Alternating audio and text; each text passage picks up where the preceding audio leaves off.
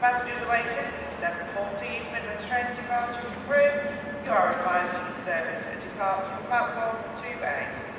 Platform 2A for the 740 departure from